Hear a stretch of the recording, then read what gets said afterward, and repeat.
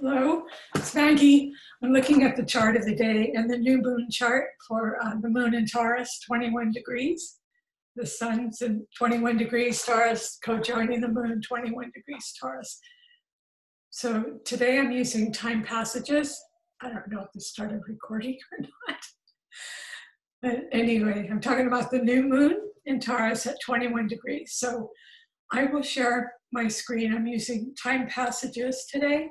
So let me just share it and we can go over it together. The colors are bold, so it's easy to see, as you can see up here.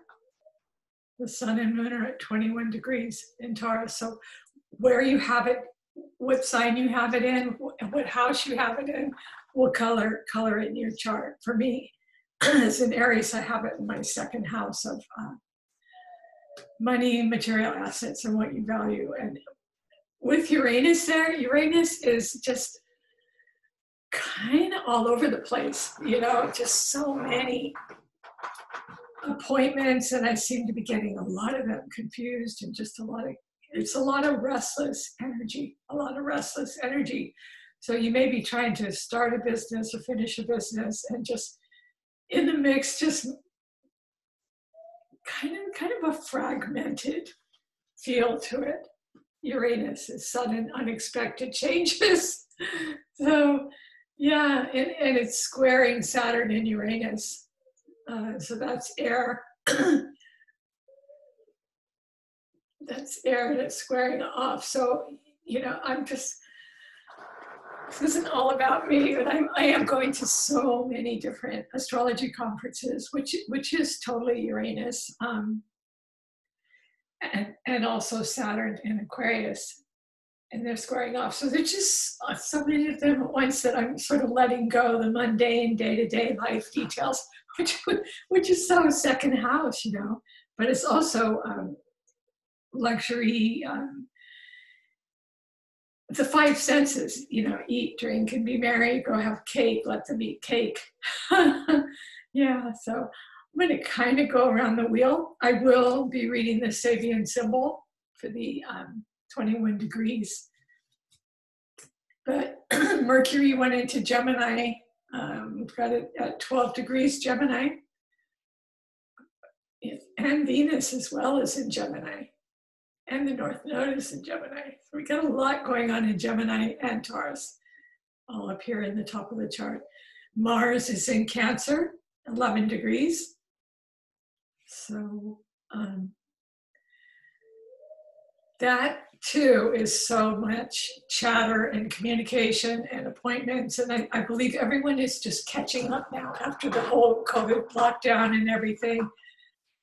The masks are coming off and people are playing catch up with everything. And it's, it's just a lot and all at once, it seems like. Because um, Gemini is very fast and quick mentally, you know, um, Venus is a planet of attraction, so for Geminis, they're all looking good, sounding good, and it is sextile to to uh, both.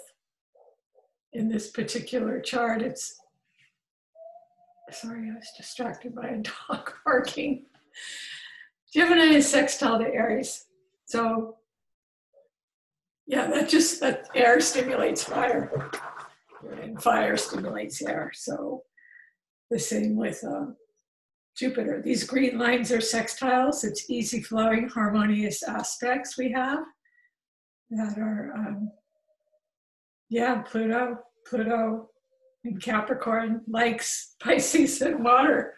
In uh, Neptune, Neptune and Pisces, and Neptune and Pisces likes Gemini.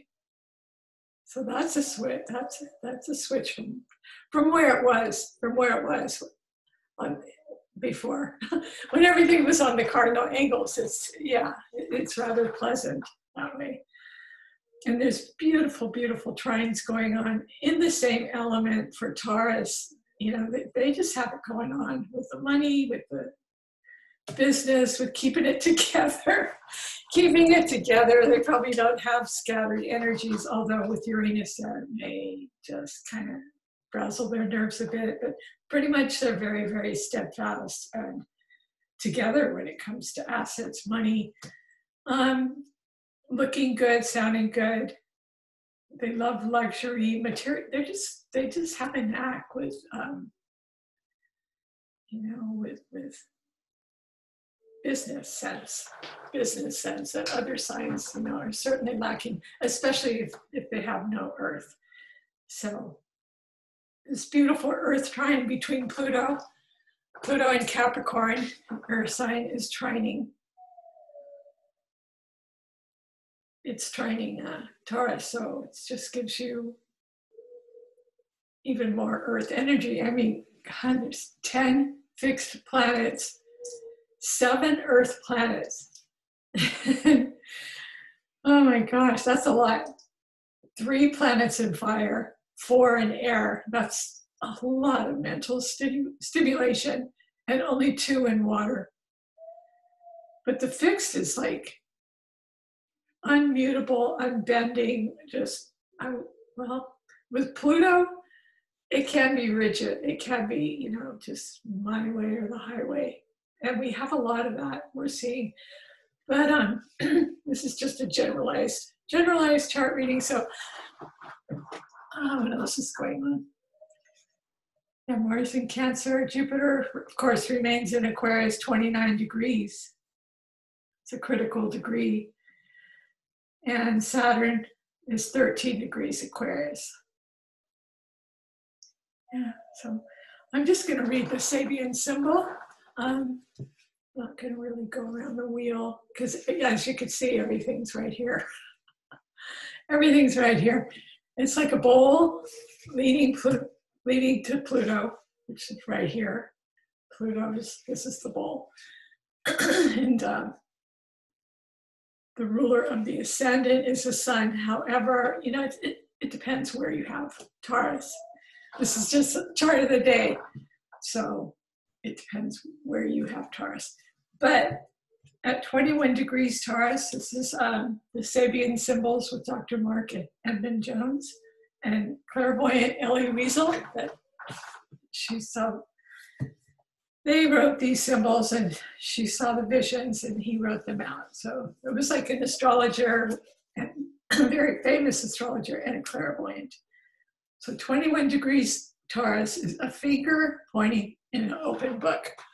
This is a symbol of the rectification of experience on the side of ends and meanings and of the fine discrimination of which man is capable. There, here, it, there is here a dramatization of the racial wisdom as this becomes incarnate in conscious individuality. Wow, is that ever going on in our society?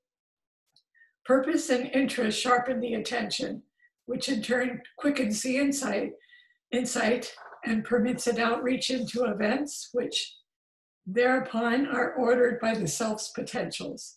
The key word is confirmation. Confirmation. When positive, the degree of sensitiveness to the enduring significance of each special complex of human affairs, and when negative, a loss of integrity through blind obedience to others and a tendency to do things by rote. Yeah, that's uh, so it's sustaining ideal, efficient, generalizing, social, experimental. And that's what's going on with the whole the whole new age of Aquarius. You know, it's it's like we're, it's like a social,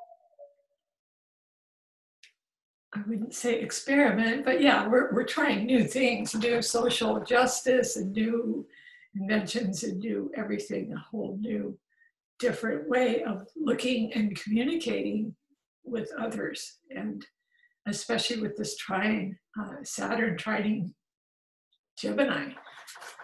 Saturn trining Mercury, it's, it's, yeah, some serious stuff. So anyway, I hope you enjoyed this. Have a good new moon. Um, make form an intention. I'll probably try to get out of at least water the yard. I don't have a whole lot of earth. I don't have any. The only earth I have is Chiron up in uh, Capricorn. So I need to, that's why I'm wearing earth colors. I dress according to the moon. And um, it just kind of helps to bring that element into your being if, if you're lacking an element.